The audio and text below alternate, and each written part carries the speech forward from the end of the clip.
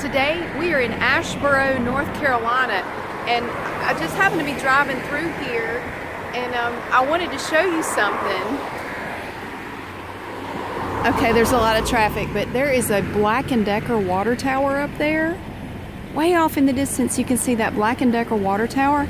This used to be Black & Decker. This was a Black & Decker factory, and I worked here on two separate occasions. I made um, actually, you know what? I've worked here on three separate occasions. Uh, during summers, a couple times when I was in college, I came uh, and worked here for the summer and made really good money. I made toaster ovens for two summers. And then after I graduated from college, after I graduated in 1995, I came to work here full time and I made SnakeLights. I worked six nights a week, uh, about 48 to 50 some hours a week making snake SnakeLights in this factory right here. So I, I, don't know. I just thought that was cool. I thought I'd show you. It's not a black. It's not Black and Decker anymore. They actually moved the entire operation down to Mexico, so they don't make them here anymore. But they used to all be made in the USA, but they don't do that anymore.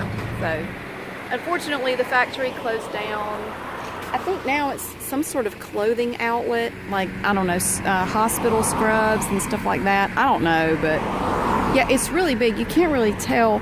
And way up there is a miniature golf place. And I used to go in, there's a little entrance, a side entrance back there that goes to this big parking lot. And I used to go in back there, and that's where I used to park.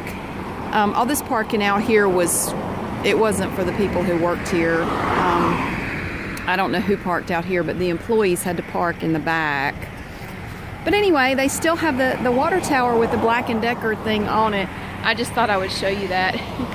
so I am headed on out of town now, but I wanted you to see the water tower. Hey, we're at my mom's house, um, and it's it's a beautiful day out here. And I wanted I wanted to show you my mom's flowers. We're actually getting ready to go. We've been here for a visit. But I wanted to show you some of her pretty irises. Look, I don't know the names of them. They're all different kinds. I wanted to show you. She has this big azalea bush. Um, the blooms are coming off though. But all these are irises. Can you know you recognize the big flat leaves? Here's one that hasn't bloomed yet. She has um she has them in different colors. And these irises, sorry I'm stepping in the leaves. These irises come from all over. Some of these she got from my aunt, some she got from my grandmother. There's some pretty purple ones over there. Some of them are just enormous, like this one's going to be big. This one here. And I'll walk down here. These came from my dad's sister. Well, she was just telling me, um, look how big that is. Isn't that beautiful? These um, came from my dad's sister's house many years ago. And all of these I think are the same. They're these great big, it's kind of windy out here. Great big irises. Just beautiful. And here we have a dogwood tree. There was a dogwood tree, there was another one right beside it, but it was struck by lightning about 20 years ago and it died.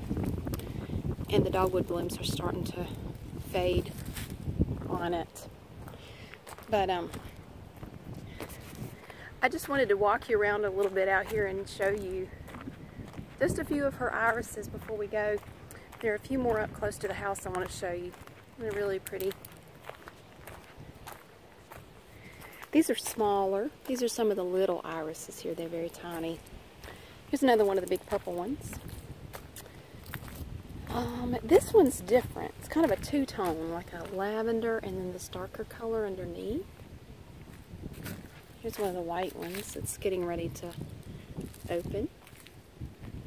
And over there, there's a bumblebee. I can't really get there from here, but some of those over there are kind of like a light yellow and burgundy. Really pretty. And some more white ones. Oh, that one got broken. We have some uh, liriope growing out here. Let's see if I can get around to show you these here. Look at that. Isn't that pretty? That's so pretty.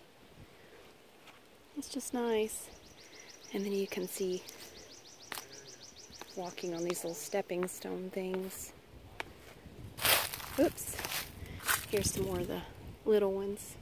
Oh, look at these. Well, these aren't irises. These are something else, but they're pretty. Whatever they are. um, I don't know a lot about flowers and stuff, but those are pretty. Anyway, uh, ooh, it's bright out here. We're getting ready to go. But I just wanted to show you a few of her irises because I know the next time I come down here they won't still be blooming. So I wanted to show them to you now while I still could. so uh, this is going to be really short because this is probably just going to show you the Black & Decker water tower and my mom's flowers. so I asked my mom if she would talk to me briefly uh, in a video and she's not feeling too good. Um, she was out here earlier today. Um, she had old sandals and uh, she has neuropathy in her feet and she doesn't have a lot of feeling in her feet. And apparently she managed to step into a fire ant nest and she did not realize it right away and she has really bad fire ant bites all over her feet and she's pretty doped up on Benadryl right now. So she said, I'd really rather not, I'd rather not be in your video today if you don't mind. Maybe next time. So anyway, I hope that you're having a good day and I will see you later.